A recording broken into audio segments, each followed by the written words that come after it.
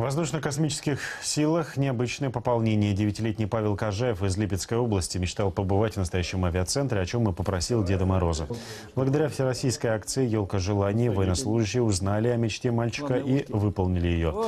Павла пригласили в центр подготовки. Там вместе с инструктором он совершил полет на тренажере самолета Су-34 а также посетил аэродром, где впервые увидел боевую авиатехнику. В завершении визита ему вручили памятные подарки. По словам Павла, эта экскурсия лишь укрепила его желание стать военным летчиком. Да.